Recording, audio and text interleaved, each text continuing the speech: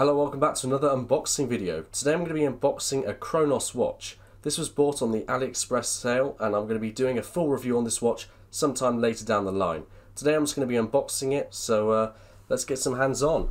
It's a pretty solid plastic case and um, feels decent. No real branding other than the Cronos sticker up here.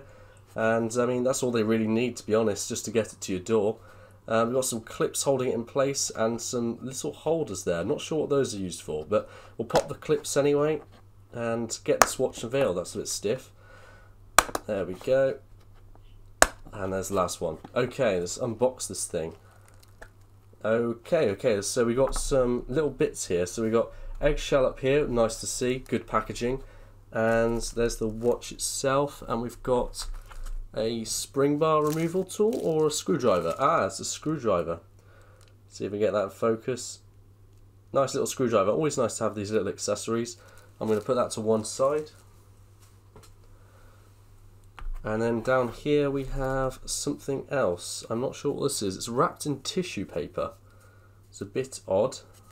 Um, this feels like metal. Ah, it's a spring bar removal tool. You can see the little end there. Okay, nice to have as well. I'm going to get this fully unwrapped for you. Here it is, a Cronos branded spring bar removal tool. Really nice actually. Nice little touch there, Cronos. I like that a lot. Um, I don't know how good it will be, but it's cool to have.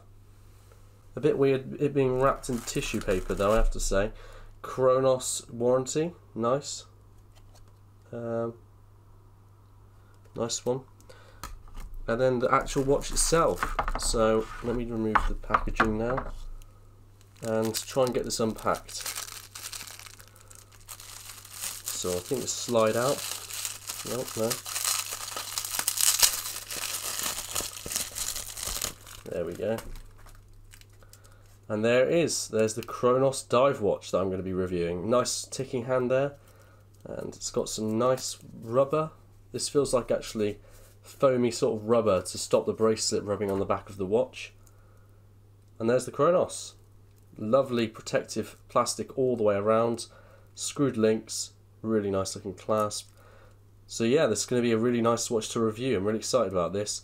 And that's going to be it for today's video. It's a short unboxing, but I hope you enjoyed it regardless. Let me know what you think of this watch already, just from the looks, the initial looks. I mean, it looks pretty damn beefy if I have to say so myself.